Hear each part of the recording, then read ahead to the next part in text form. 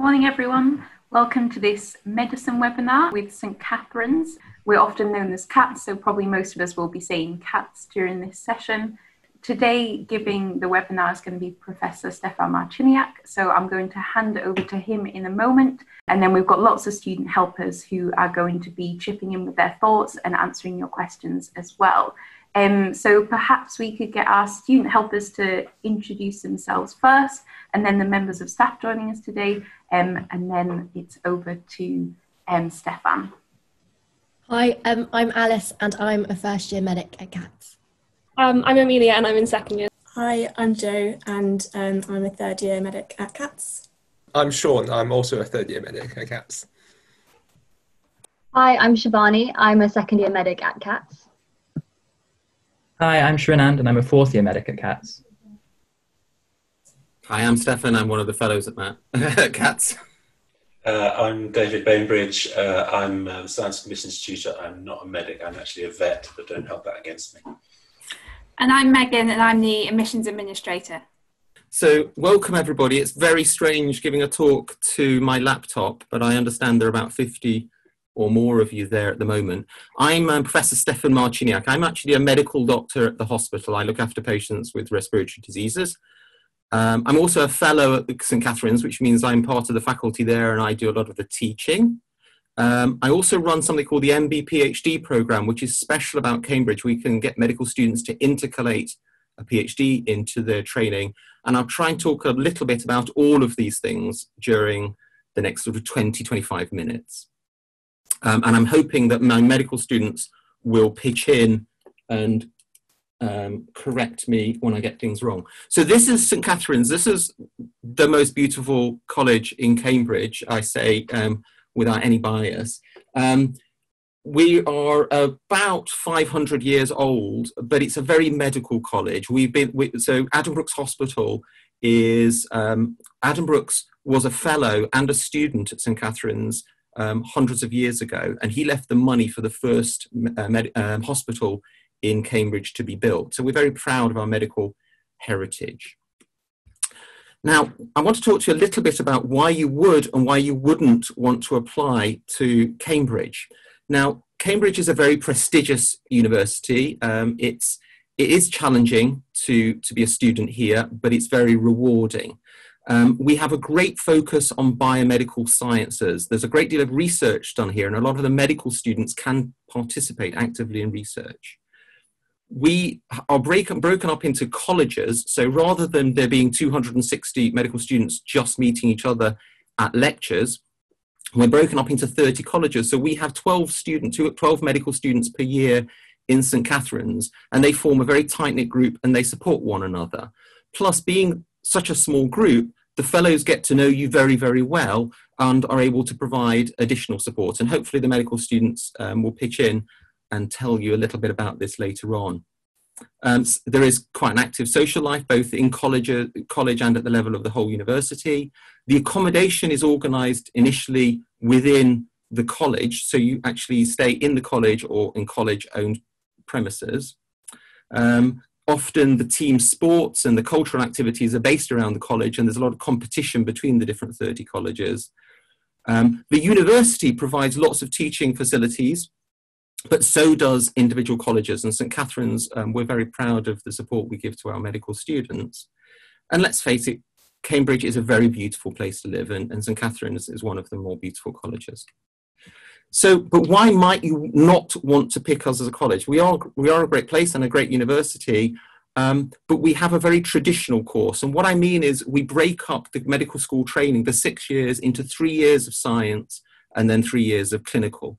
You may quite rightly want to be doing patient work right from the first year. And if that's right for you, that we might not be the right medical school because we like to teach you the science very, very well for the first three years and then let you loose on patients for the next three years. So we have a separate traditional clinical versus um, preclinical course.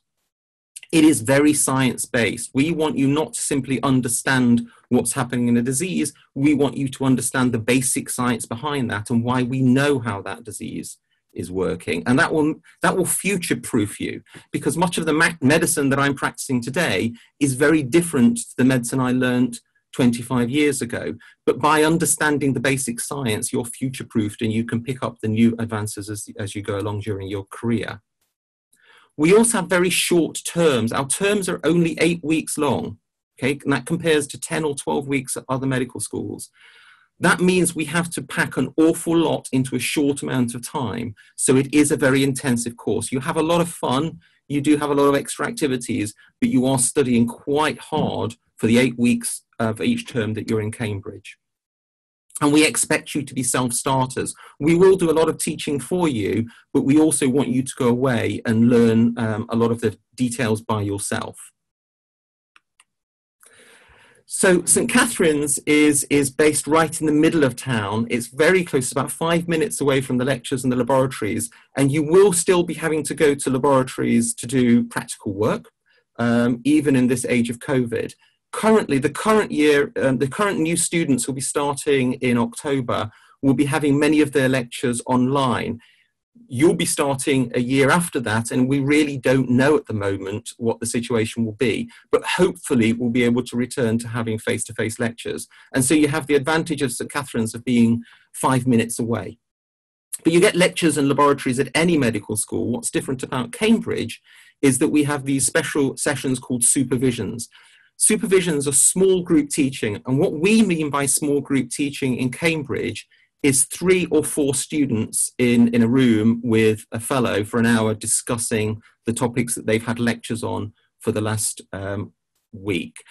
Some other universities, small group teaching might be 20 of you in a seminar. We don't think that's, that's still a seminar. To us, a, a supervision is three or four of you sitting on that red sofa. That's a picture of the red sofa in my office, where you would come every Monday to talk about physiology um, and drink the tea I make you and eat the biscuits. Below are the 12 medical students currently, and I think there's Alice. She's um, she's one of the students who's going to talk to you in a moment. Um, the, only reason they're there at one at that time is that it was the last supervision, and they're all having mince pies with me at the end uh, just before Christmas. But normally, at any one time, there'd only be three of them there, um, so they can all get chance to ask me questions, and I get get chance to ask them questions and make sure they understand the lecture material.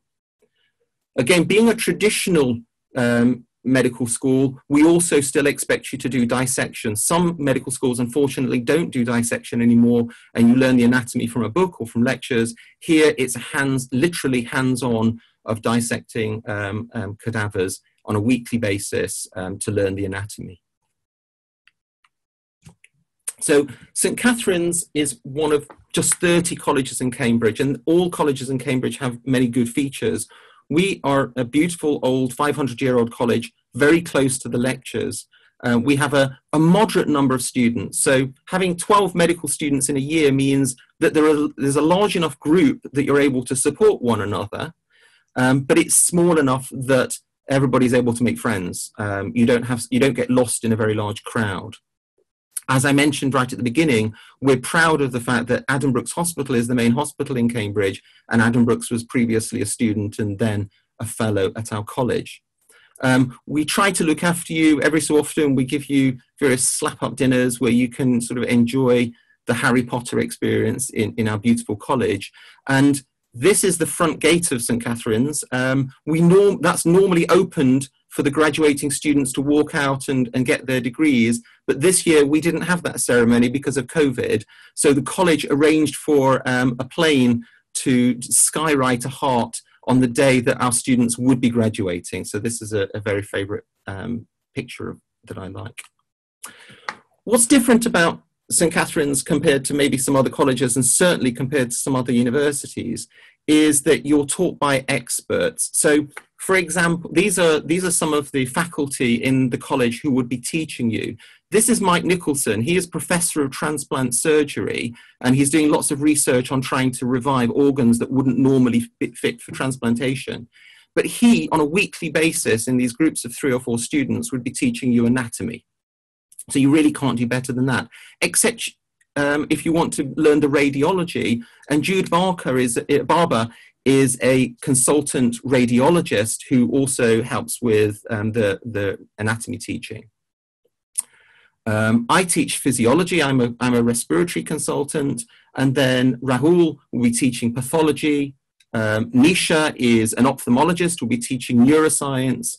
Nick Morrell is another medical professor who will look after you when you're doing your clinical training.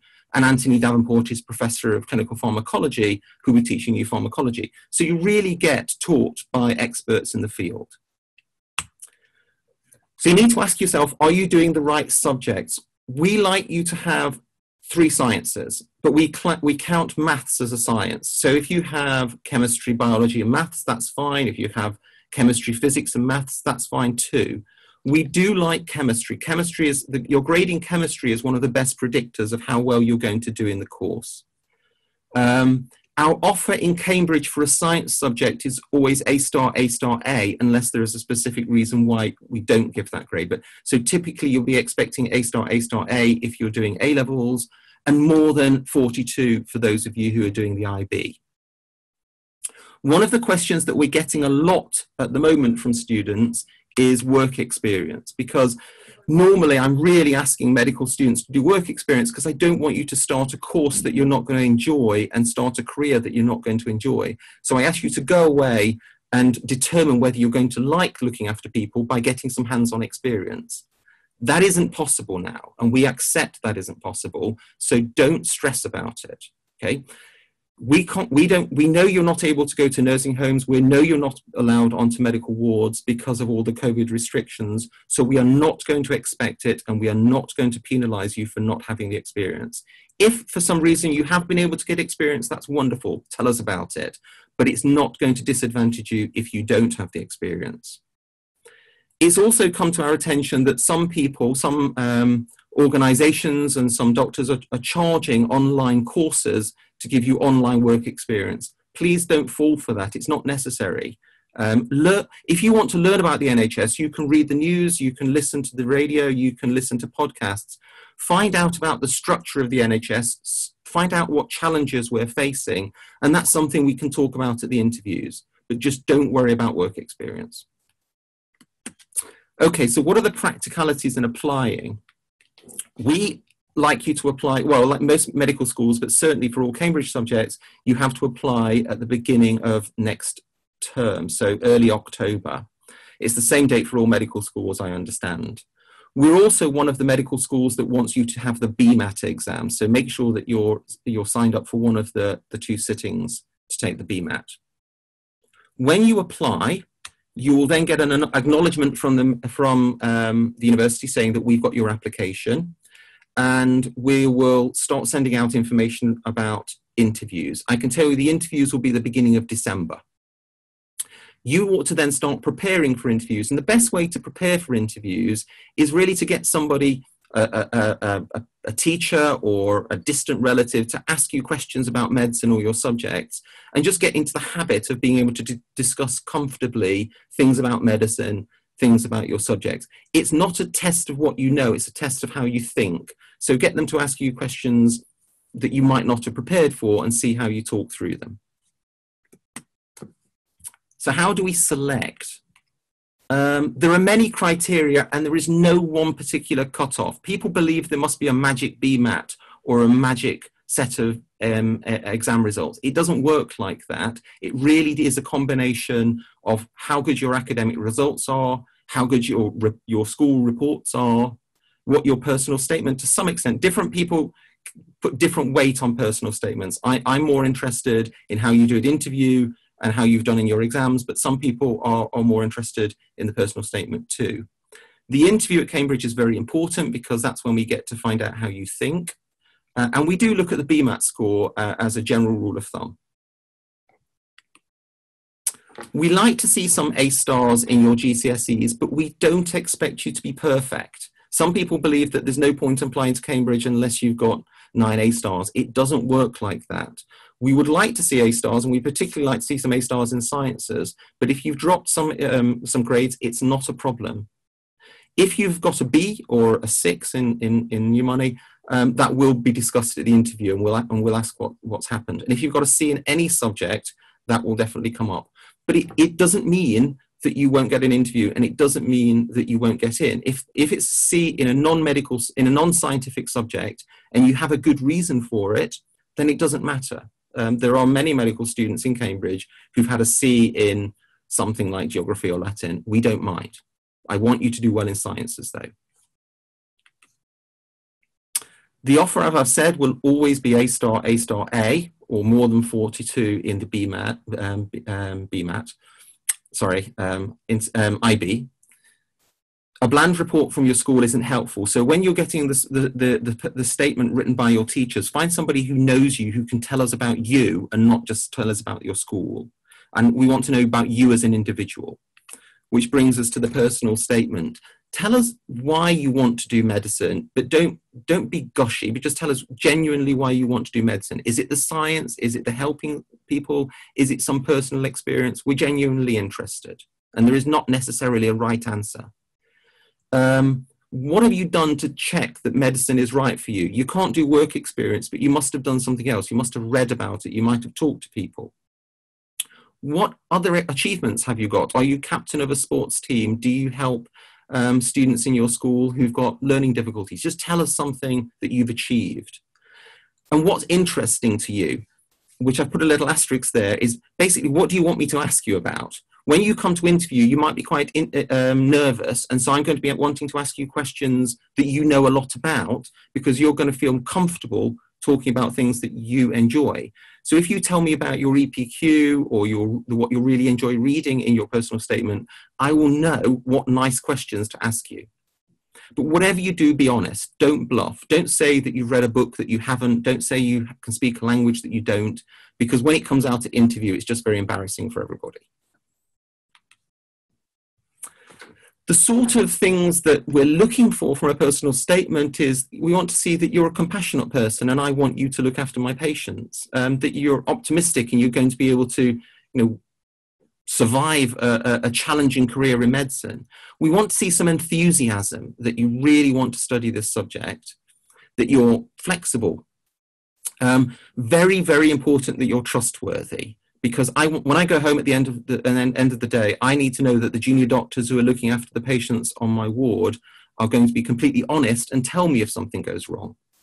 Um, and then the others are obvious. Are you imaginative? Are you organized?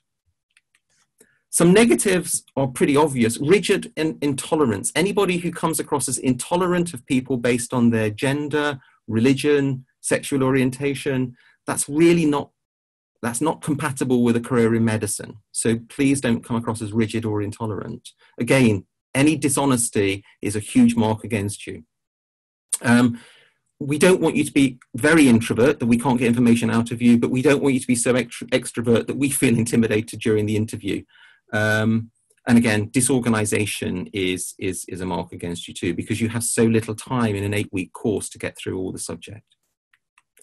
I won't talk very much about the BMAT because I suspect you know more about the BMAT than I do because you, you might have started studying for it. And if you haven't, you probably would want to start studying now.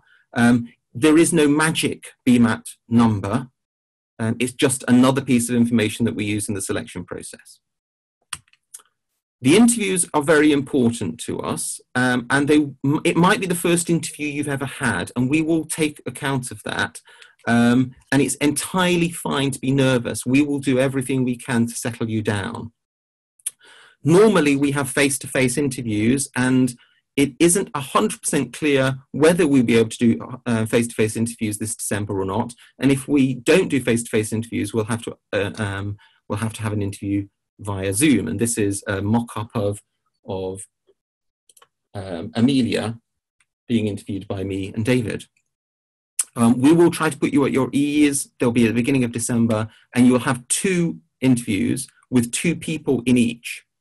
And the reason we have two, so there's a science interview. So I do one of the interviews with um, with uh, um, Professor Davenport, and I ask various lots of science questions and maths questions, whereas Prof. Nick Morrell and Mike Nicholson will be asking about what you know about the health service, what you know about the causes of disease. What we're actually looking for is how teachable you are. Are you really enthusiastic? Are you going to participate in supervisions? There are lots of ways of learning medicine, and one of the special ways in Cambridge is of having supervisions. But if you're going to be, if you're not really going to enjoy the supervisions, if you're not going to participate, we might not be the best place for you. So we really want to get a, a sense from these interviews as whether you're going to be participating during supervisions. We want to know if you can cope with your ideas being challenged, um, as might happen in the lively discussions we have in supervisions. So, you know, we will have a lively discussion when we interview you. Um, and we want to see that you're motivi- motivated. We want to see that spark that you're really going to enjoy studying medicine here in Cambridge. So, how do we make the decisions? Um, imagine we have a large number of applications, and we do. We, are, we have a quota. Each college has a particular sized quota. Uh, but very often, when we've done our interviews, there are a few people we know we're going to make offers to, but there are a large number we believe should be in Cambridge, but probably exceeds our quota. And the reason, and the way we get around that is we then discuss with all the other colleges, because it's very likely that one year we have slightly too many good students, whereas another college will have insufficient numbers of good students, and we can exchange ideas and we can then encourage another college to make an offer or poss- possibly re interview one of our students. And that's called the pool. So just because a large number of students apply to one college, it doesn't disadvantage you because if you're a good student, you'll be the other colleges will be made aware of you. So we have um, 11 to 12 places to do medicine in, in St Catharine's per year out of the 260 in Cambridge. We get about 80 applications and we interview half of you.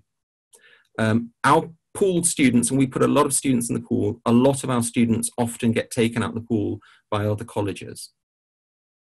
Um, so after an interview, you might get a letter saying you've been offered a place. You might say, we're not offering you a place and you haven't got into the pool. But if we do do that, we'll give you feedback as to what went wrong in the interview and what you might want to improve next time when you're interviewed at another medical school. So it will be a, a beneficial experience for you. If you've been pooled, you might not know about it until you get an offer from another college. Or the other college may ask you for a second interview. That it varies from college to college, but it will all be decided by January.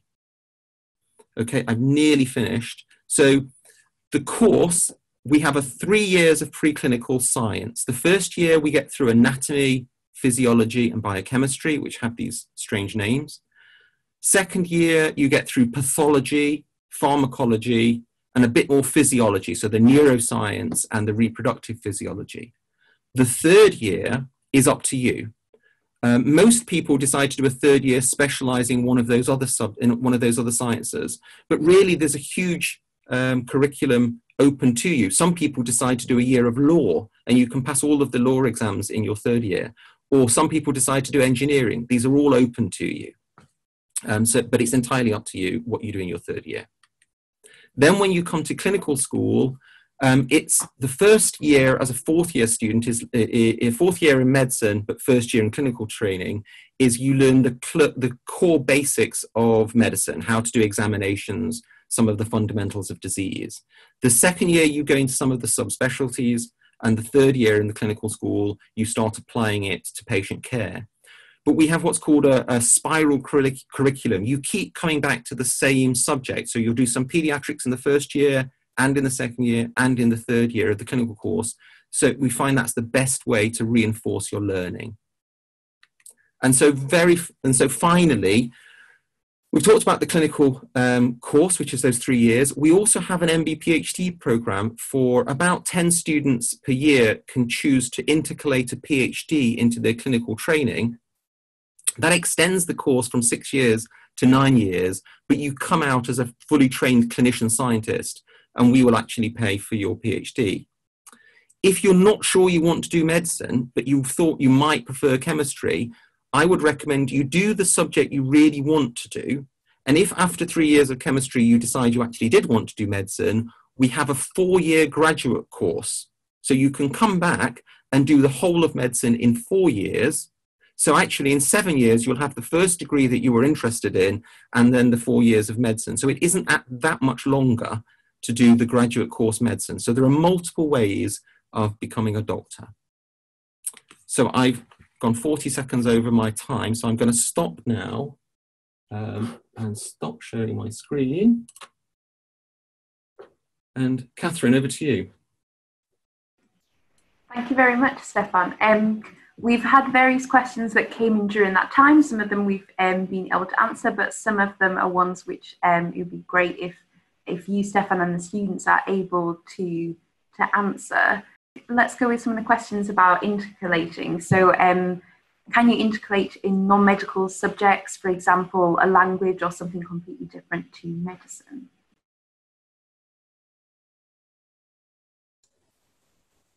Do you want me to have a go at that one? David, do you want to start with that? Uh, yes, uh, technically you can do any third year subject uh, in your intercalated year.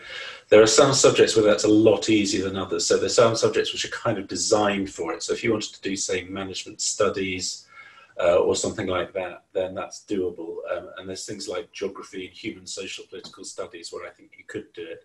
Um, a couple of people specifically asked about languages. I think they'd definitely be towards the difficult end of the spectrum because you would then be in competition with people who'd done French and Spanish for two years at Cambridge, which, so in some subjects, technically you can do it, but it'd be very, very difficult. Other subjects, much more straightforward. But there's a great option there. And so in, when you go to the clinical course, there are, there are two or three sections in the curriculum during the three years, six week blocks are called SSCs, student selected components. You do one in the first year of clinical, in the second year and the third year people often use those to do a bit of research or, or, or specializing in, a, in one of the medical subjects they love they care about but some of them spend those six week blocks just learning a language. And you can then actually go down the um, the Cambridge the, the language department. It's not a degree but the language department will actually run special intensive language courses for clinical students. I don't know if any of the um, who's have got a fourth student fourth year. Who's um, Srinan? Do you have any experience of that?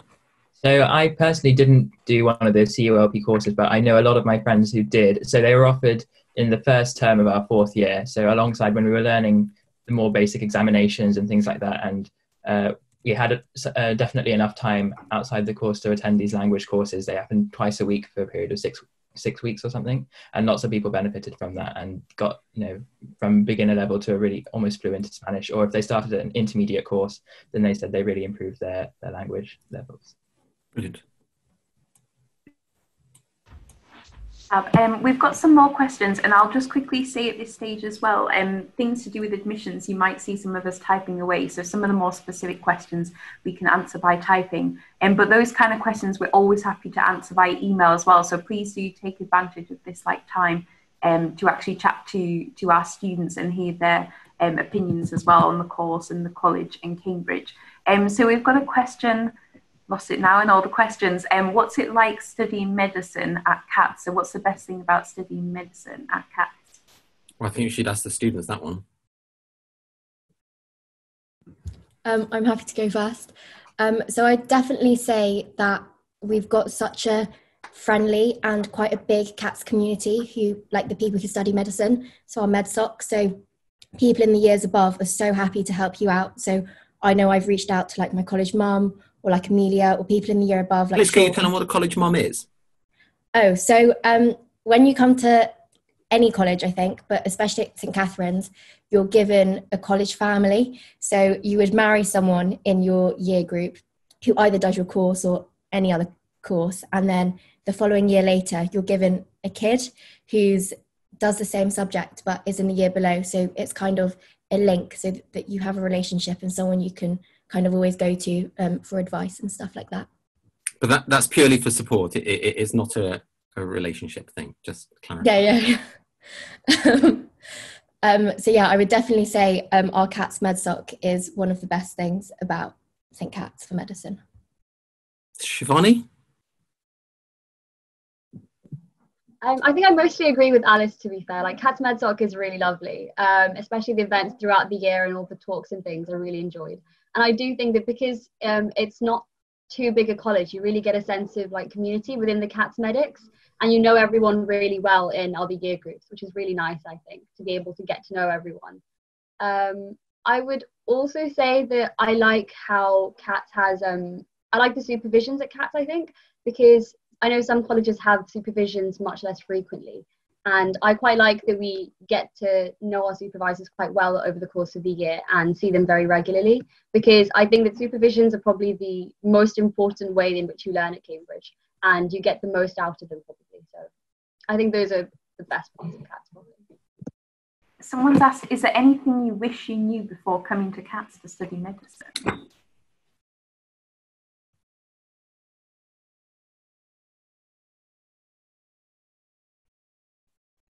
Not to kind of copy the last answers, but I think I just wish I'd have known how like chill it was going to be. Like I thought it was going to be really stressful and there'd be lots of competition, and I'd be like really struggling to keep up with everyone else who had done like a million A levels. Um, and I was just really worried. Like everyone's nervous before they go to uni, but I feel like I wish I'd have known that it was going to be fine. Like everyone was going to be so friendly, and there's so much support, and it's actually really fun. Like it's enjoyable. It's not stressful.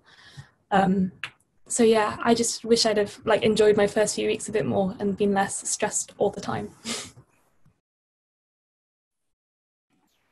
Someone's asked, what would you say is the biggest difference between Oxford and Cambridge? So that's perhaps trickier for us to answer, seeing as we're all um, at Cambridge. But Stefan, do you know anything particularly with medicine? The differences? Well, apart from we're so much better. No, I mean uh, they're, they're, they're a bit older. We're actually the younger brother or the younger sister of, of Oxford. It was actually Cambridge was set up 800 and something years ago by some people who left Oxford in a huff.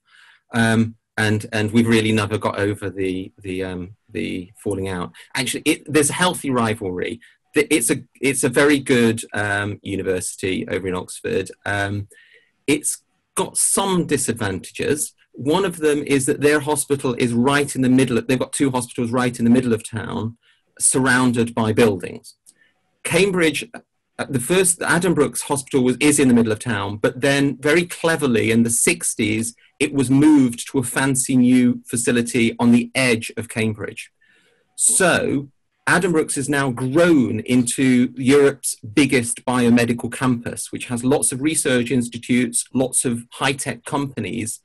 Um, so, probably in terms of biomedical startup and biomedical research, we might have a slight edge.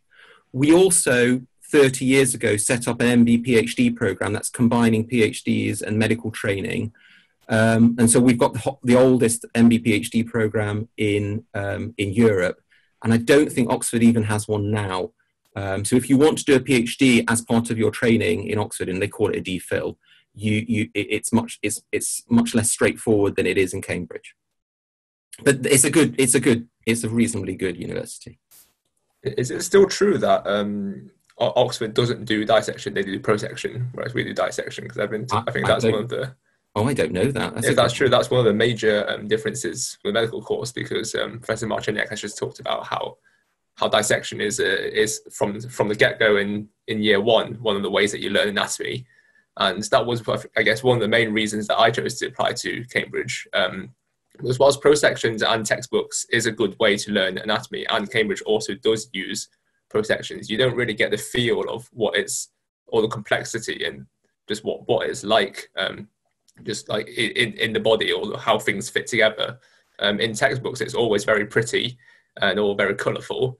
Um, I've actually made a prosection, and prosections are quite accurate because they are made from a real specimen. But you also do have to make compromises because the real thing is just so complex.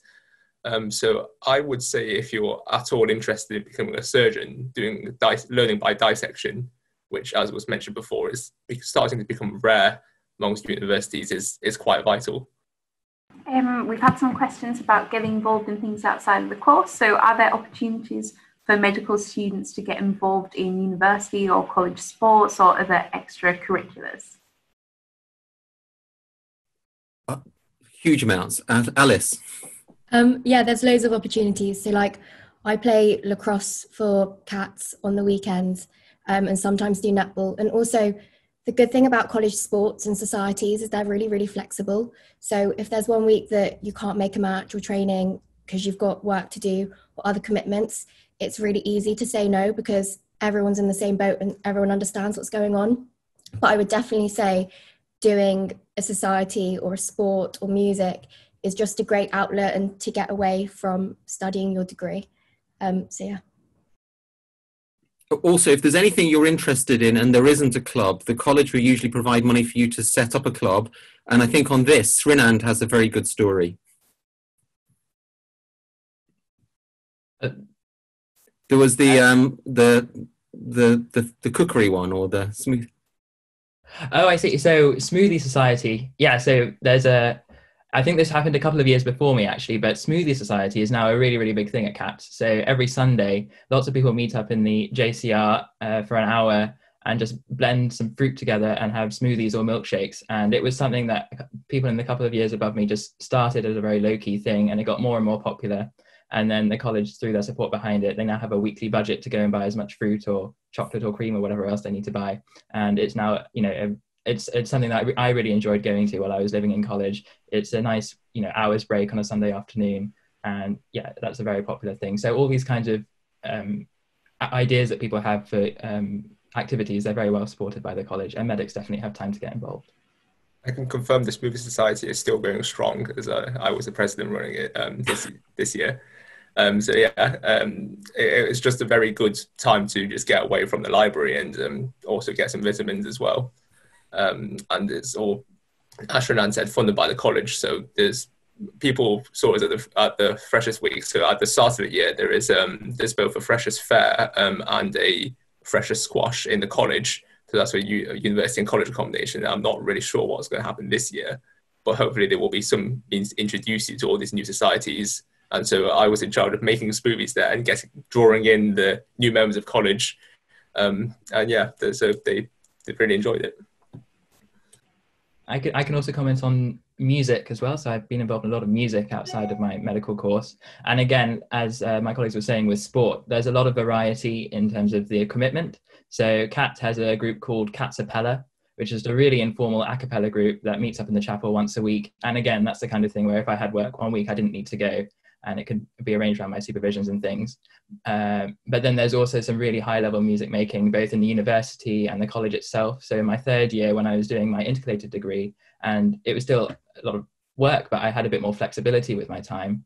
Uh, I joined chapel choir for a year and um, got a lot out of that. So again, there's lots of different things you can get involved in, and it, um, yeah, all different kind of commitment levels. We've had, I mean, we've in terms of students, I can think of lots of people who've played for the university. So when you play at different universities, you, if you for various subjects, you can get something called a blue. So even though medics are really hardworking and have lots to do, it's not unusual for medics in Catz to also play for the college or play for the university and get a blue in various sports. Um, we've had a few questions about the style of the Cambridge course. So to any students, especially those who started the clinical course, how do you feel the more traditional method of learning medicine has benefited you? And kind of similar to that, people are asking, um, how do you find the kind of clinical experience that's offered in the first three years, maybe compared to other universities? So, Sean, do you want to tell about the first year of clinical and then maybe some of the first or second years can talk about what little you do get some clinical experience in the first couple of years? I, I, yeah. Well, actually, so Srinand was in the fourth year. Sorry. That's all right. Yeah. So I, as I say, I'm in my fourth year. So I just started my first year of clinical medicine, and definitely, so there's not so much clinical experience in the first three years, although there is some, as I think other medical students will tell you about. But there's a lot in the fourth year. You know, from the fourth year, you are very much integrated in hospital teams. You have some weeks of you know maybe four or five weeks a year of purely lecture based learning. The rest of it is all embedded in hospitals. There's a lot of emphasis on learning on the job. And you there's also a big emphasis on a variety of experiences. So each year you spend some time in addenbrooke's hospital but also some time in another regional hospital. And that changes every year. So i spent you know before we were sent home because of covid i spent quite a lot of time at ipswich hospital. And that's you know a district general hospital. It's a very different experience to uh, addenbrooke's hospital. And you get put in lots of different rotations. So you get you start off with a block called core clinical medicine, which is basically getting you used to being embedded in a clinical team, which I found really, really helpful. So you weren't expect there's no specific things you had to learn. It was just about you getting used to walking up to patients and talking to them, asking if you could practice your examinations on them, you know, uh, what ward rounds are like, what clinics are like, and things. And then you started more um, specific blocks on medicine, on surgery, on emergency medicine, and, th- and GP and things like that. And that continues uh, throughout the three years of clinical medicine. So there's a lot once you get to clinical school. And Srini, do you want to say a word about supervisions when you're at the clinical school? Okay, so again, we do still have supervisions at clinical school, but of course, because we're learning more about applied clinical medicine, the structure of the supervisions changes to suit what we're supposed to learn in clinical school. So we have a, a clinical supervisor who is either a foundation year doctor, so someone in the first two years of practicing medicine, or maybe a, a specialist trainee, so someone in the first maximum three or four years of practicing medicine. So they know what it's like to be a medical clinical medical student and what we need to learn. And they take a small group again it's usually about five or six of us. So it's still a very small group. And we go to one or two patients and one or two of us do an examination as practice and then they comment and give us feedback on that. Uh, so yeah it's very similar in terms of a small group teaching very focused on the individual but of course it's more practical because we're learning more practical things at this stage. Someone's very specifically asked is for activities to get involved in is that too much outside of your medicine course? So perhaps a couple of you could speak about that. So it obviously completely depends on you and like how much time you want in bed and like just chilling in your room and hanging out with friends. But you can definitely do a lot. I mean, I started rowing this year for the first time ever, and training was like six times a week or something crazy. So obviously, you could do six things that meet once a week, and it would still be the same amount of work. Um, I also went climbing every week, um, and like lots of my friends get involved in like ball committees and societies where they have to do a lot of like administration work. So it really, really does depend on like how you schedule your time and how much you're willing to commit. But four is quite arbitrary, but definitely sounds manageable to me. I know a lot of people that do that kind of thing. Um, medicine's quite contact hour heavy, but that doesn't mean that you're working way more than someone who does like history or something. It just means that you're doing more structured work, like you have to be somewhere at a certain time rather than like work in the library and you have to like write essays by yourself. So it's not like you're going to be working way harder than everybody else. Um, and everyone manages to have fun and do their degree at the same time. So don't worry about not having time to do things. I think I found um, that your work kind of just um, like your work will take as long as you have for it. So if you commit to a few extracurricular things a week um, and kind of have them scheduled in, then your work will just fit around that and you'll always manage to uh, meet the deadlines. Um, for me, I also used to take a day off each week. I did find that completely possible. I just would schedule it into my week and it would just be a day to kind of relax, enjoy being with friends, and then I'd kind of reset for another week of work. And I found that totally possible um, to meet the deadlines and to do that and to do some extracurricular things. It's definitely possible even as a medical student. And I think it probably makes you do better in work as well to have that kind of balance. In, in fact, I was um, helping to run four different societies in uh, this year that just passed. Um, so I um, was a president of the Catz MedSoc. Um, I was a president of the Smoothie Society at Catz. Um, I also was involved in two university societies. So we newly set up an, an anatomy society, which is quite new and quite small. Um, and uh, sports-wise, I was also on the committee for the University Rifle Club. Um, so as I, I, completely agree that if you don't do activities, you tend to um, your work will tend to fill up the time. Um, and if you do more activities, you, I, the impression I get is that you will just become more efficient and you will get used to time management. And I think it's quite a nice a nice thing to do. And so it can sometimes feel overwhelming. You can also step back from these um, and say like, look, I'm just a bit too too worn out, and because everyone's in the same boat, everyone will will um, understand if you do that. Thanks, guys. Um, I think David's going to answer um, by speaking some of the more common admissions questions that we've had coming in. Uh, yes, there were just a few specific ones uh, that came in. Uh, one was about the timing of the BMAT relative to when you apply, and one was about people who were thinking of taking um, A levels on paper at some stage in the autumn. Um, the BMAT, I mean, many people do the November sitting of the BMAT. I think the, the, great majority do. So most people apply before they know their BMAT result. So that's obviously absolutely fine if people uh, do that. Um, that's what most people do anyway.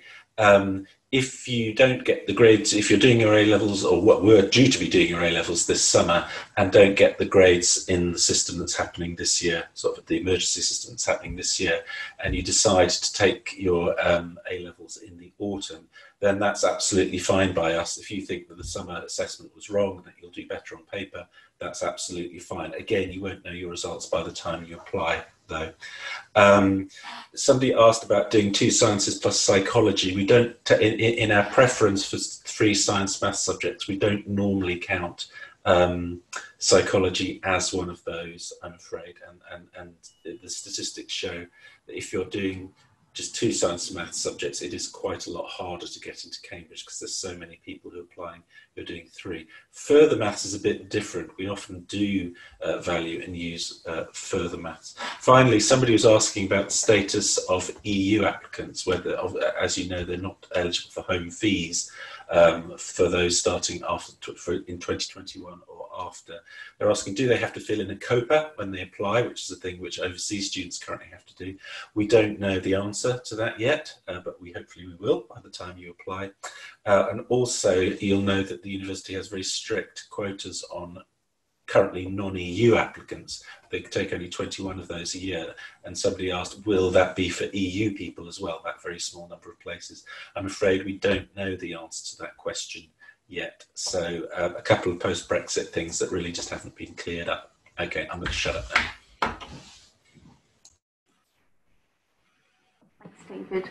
Um, somebody's asked, did you have any mis well preconceptions about St Catharine's and or Cambridge when you were applying, and do you think that they were disproven when you got there? I um I went to like a non-selective state school and they only let me do three A levels. So I was really concerned coming to Cambridge that I'd be like a lot behind everyone else, like like academically, and I wouldn't have loads of people that I knew from school there. Um, but that's really not the case. If they give you an offer and they want you to come and study there, they think that you're going to be able to handle the workload, and for the most part, that's definitely true.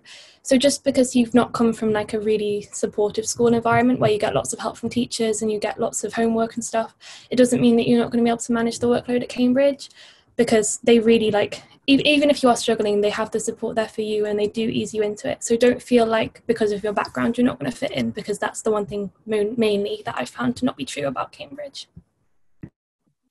Um, I think when I came as well, I thought that the relationship with supervisors would be like super intimidating, and that I'd be really scared to talk to supervisors about um, if I was struggling or if I had questions or if I didn't feel like I could manage the work on time.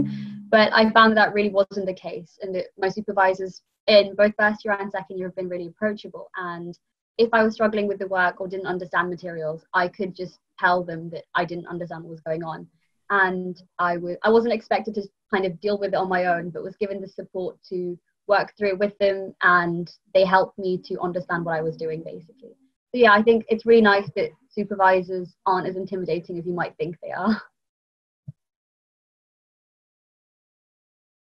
Um, a few questions about the different societies at Catz, a few about the MedSoc, so the Medicine Society. Um, what is it? What does it involve? What do you guys do and how often do you meet? So I was just about to answer the questions there. Um, so the yeah, so the, the MedSoc is um, is so all, all, medical students and vet students in the college are automatically part of the college MedSoc, um, and there's also a, a university-wide MedSoc, but I, I, won't go into that.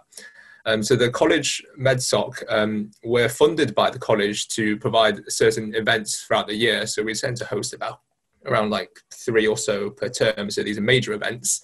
Um, at the start of term, obviously there's some welcome events. We had some uh, some very fun ones um, organised by Amelia this um, at the start of last year. Um, to get the basically to get all the the um, new students to get to know each other, everyone be able to uh, introduce themselves, um, and so these social events are quite nice. Um, there's because it's funded. There's there's free food for everyone as well, um, and there's also um, some talk events. So these uh, are from a, a, very wide range of um, people. So we get external speakers for some of the events, um, and sometimes these are people who have been very successful in the medical field. Um, and they can give some very valuable lessons about their experience and some interesting insights into their research. Um, and also we get students to talk about their experiences. So we also had an event for um, people who did things over the summer, like re- summer programs and research, um, to talk about that. And also um, the clinical, uh, the medical electives. So that, that's the clinical students who do do something for a few weeks abroad um, to experience a different health system. Um, and so these are all things that, that these are all talks that are have been very interesting. Um, and on top of that, we also have uh, regular welfare meetings. Um, so that's just a time for everyone to come together and just chat, and you can you can like complain about things in your course, and you can um, just chat about how well things are going. There's some like biscuits and stuff, and some snacks. Um, so yeah, I think these are very nice um, things, and it's a really nice addition to uh, the experience of being a medic at Catz. Um, something to add, um, those all the welfare meetings that we do, they take place in this room called the medical resource room, and that's something that's quite special at Catz. So it's just a room for medics and vets where we can kind of all go and um, like learn together. And there are there are human skeletons, there's resources and books there, and you can print things there. So it's just quite a nice space for medics and vets to hang out or do work together. We've had a few questions about kind of pastoral care at Cambridge. Perhaps one of you could just quickly speak a bit about how you feel supported by Catz and Cambridge during your time, if you ever feel, feel um, overwhelmed as a, as a medical student. We'll get a, um, assigned a tutor at the college, and that's um, someone who um, probably uh, is not um, a medic um, and we have tutor meetings with them um, at least once a term. And they'll just ask us kind of general welfare things, see how we're doing, and we can get in touch with them at any point in the college about anything kind of like finance related or course related, anything like that. and they're really supportive. And then there's support within medicine. So each year you have a director of studies um, and they um, provide a source of academic support um, and so they're the person to go to um, if you're struggling with any aspect um, relating to academics or actually anything else, they'd be happy to um, talk to you. and then there's lots within the college, like the college family system that we mentioned earlier. We found that to be a really good source of support. and yeah, lots of welfare resources within the college as well. there's this kind of student welfare rep on the college committee. and then, yeah, there's lots of, like, there's really so many um, places uh, to go to. And um, yeah, the college are really keen on, on pushing welfare um, and uh, advising you um, kind of where to look for welfare support depending on what your um, challenges are at college. And also just I found um, friends to be such a great source of support and I think Catz is, I found it really easy to make friends there and they're often the first people I turn to if I need help with anything. If you Google about friends, friends and Catz is, is, is, the cliche is that we're always the friendly college, and people actually come here and they're amazed, and it's actually true. Um, it is it's a sort of friendly, informal college. But in terms, I'm a director of studies for the first year, so as well as teaching physiology, I would meet one to one with each student at the beginning and the end of each term to go through reports that they've had or problems if they've got any problems with any of their systems. We can make sure uh, um, any of their supervisions or anything we can help ac- academically. They also can meet regularly with a tutor and they can say things to the tutor which be completely kept away from me. So, if, you know, if, if, if there was something they didn't want the medical fellows to know, we have structures to make sure that you have somebody to talk to completely independently. Thanks everyone. Um, we've got a few questions about how does Catz and or Cambridge um, support students um, to apply for the AFP? So academic foundation program. So um, I, am not sure about the one the the, the I, I, direct the MB PhD program, which um, I said every year we have about between six and ten students doing PhDs because um, all of our students come out with a PhD and lots of publications, usually several publications. They find that academic foundation posts they're they're head and shoulders above everybody else to get to get in.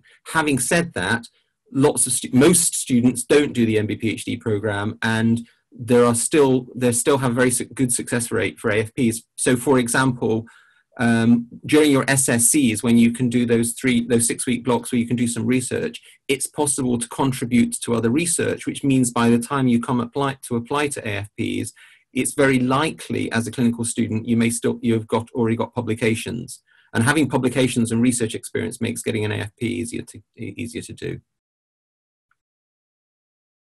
Yeah, I can comment. So I've I've done an SSC in a sort of more um, researchy kind of area. So I did looked at uh, clinical oncology, and one of the clinical oncologists at Addenbrooke's is developing this radiotherapy model, basically to look at uh, you know predict radiotherapy demand and predict how much it will cost and things and is uh, so i helped to contribute to that and there's progress going on with that model now and it might um, might lead to a, a, publication later. Also lots of the doctors at adam addenbrooke's are helping us to write reviews and things. So there's lots of support for people who want to get involved in research get up publications. Uh, i there's uh, lots of support right from the preclinical years as well, but definitely the SSC program is a great opportunity to get involved in that stuff, and all that is very helpful if you want to get get an AFP place, or uh, and also there's the MB PhD program, which of course is you know very helpful if you want to get involved in academia. And Serena, you spent two months working in my lab during one summer as well. I did, yeah. So that was in my first year, and I wanted to to get some research experience right from that age. And Professor Marciniak was very kind and uh, helped me to uh, do a research placement in his lab for two months. And it was a really, really useful experience. Even before coming to his lab, we together applied for some funding from a place called the Genetic Society. And so they basically paid for me to live in Cambridge for those two months and paid for the research materials that we needed to do the project. Uh, it was a fruit fly genetics project, so I learned a lot about genetics, which is a really an area that was really interesting to me. I got a real feel for what lab work is like, you know, right at that young age and also as part of my genetics um, funding, Genetics Society funding, I got to go to Edinburgh for a, a few days and present my project to other students my age who are doing a similar thing to me. So all those opportunities are available. Lots of people, if you if you just ask, people are really really willing to help at all levels. And yeah, there's definitely lots of opportunities to get involved in research, and all that is helpful for people who want to apply for AFPs. It's fun and it also looks good on the CV. Yeah, absolutely. Yeah, I, I had a great time doing it as well. It's not just for the CV. No, no, I'm just saying it, but it also looks good on the CV. You yeah, yeah, it's it's a win-win exactly.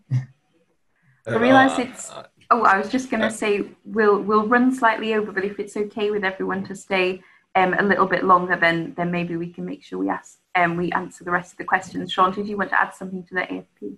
Uh, I was just going to add that um, the um, I feel the depending on what you do in third year, the intercalation can also give you a really good introduction into um, research.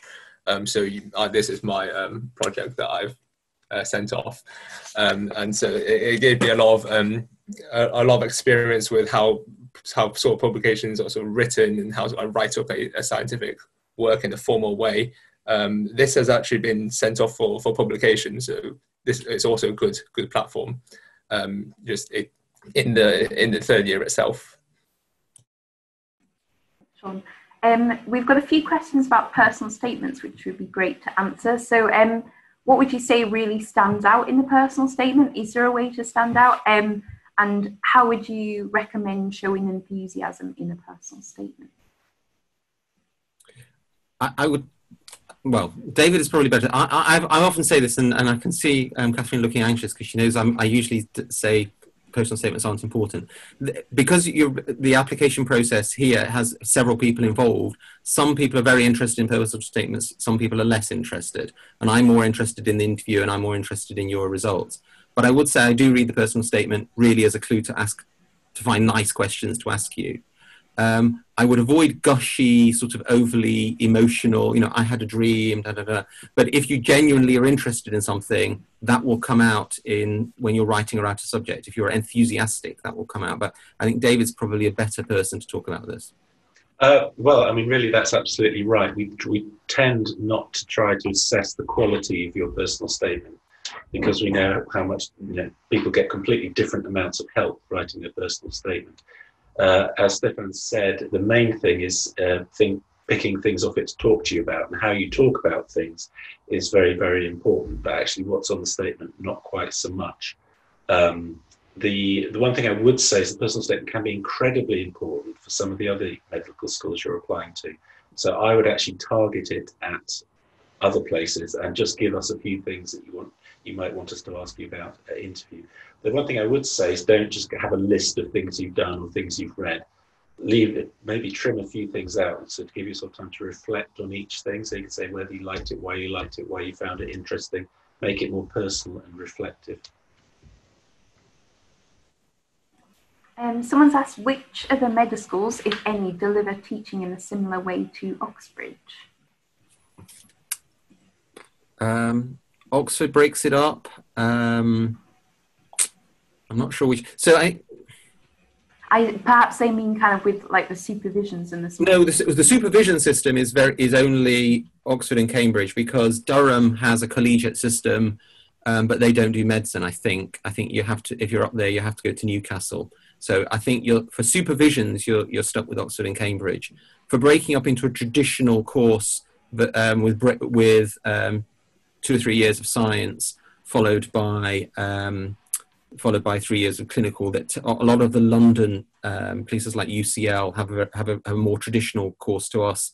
And, but in some of those other London medical schools, you have the option whether you do that third year. In Cambridge, you have to do a third year, and we make you do an intercalated third year and get a degree out of it before going to clinical school. Some of the other medical schools, you have you do two years of basic science, and then you have the choice of doing a third year, and that, that's true in lots of the London medical schools. I would contrast it with somewhere like Nottingham, which is great, but in Nottingham, you'll be doing blood pressures and examining patients right from the first year, which is not what we do.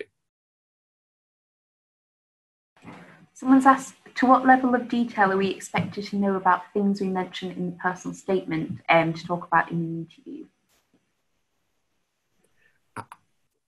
If, if you say you, t- if you, Okay, real story. Somebody said, I really like reading contemporary Japanese literature, which just seems a, a, a, you know just that's one thing. And and I that's such a that's such a surprise because me too. Who's your favorite author? And they said Haruki Murakami. I said, you get away. That's my favorite.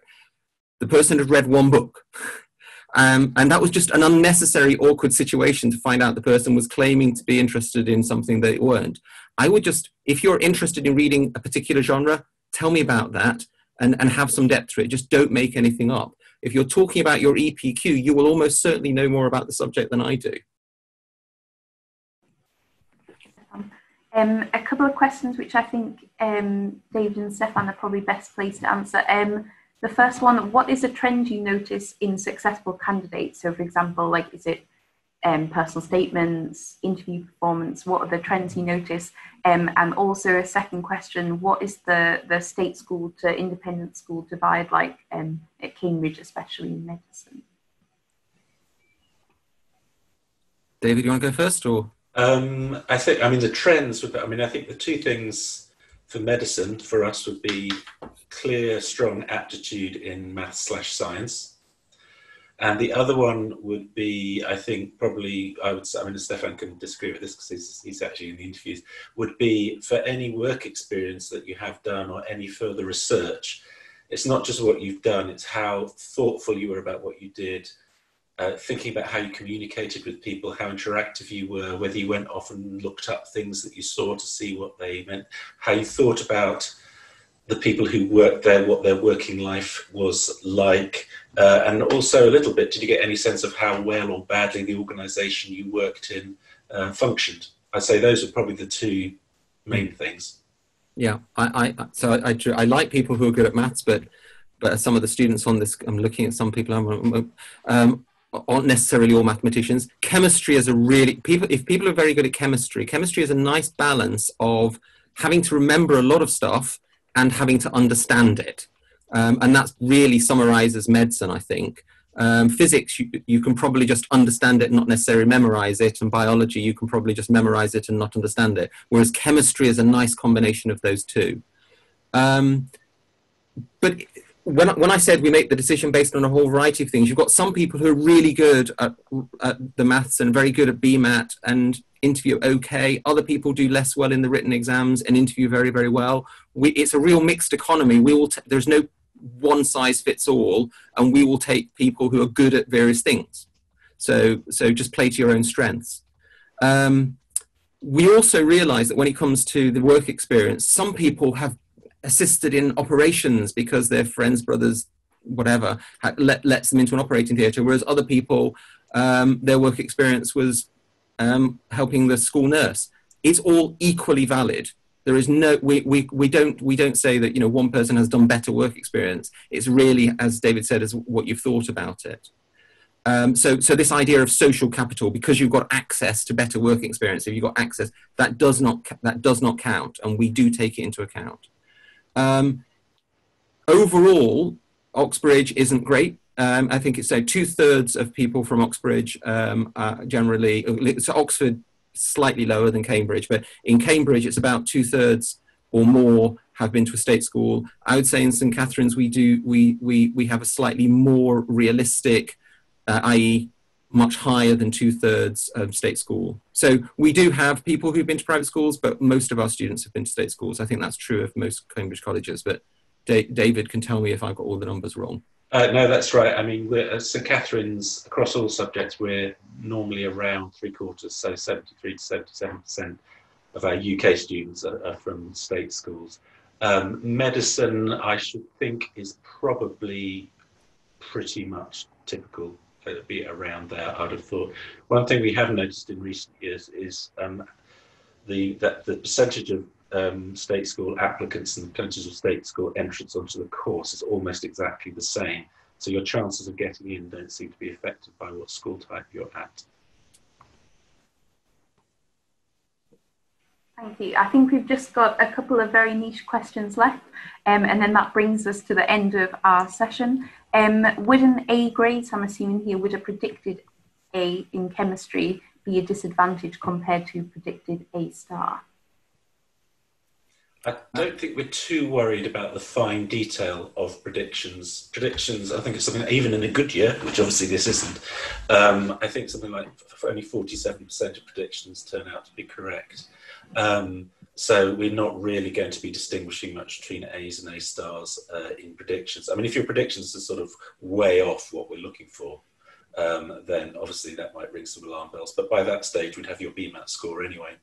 Um, so that would be my answer for that. Yeah, it's true. I mean, although I say chemistry is an important predictor, I wouldn't say that all of our students have got A stars in chemistry. You know, it, we want A star, A star, A, and your A could be in chemistry. I just think your your life will be easier if you find that you're a natural with chemistry.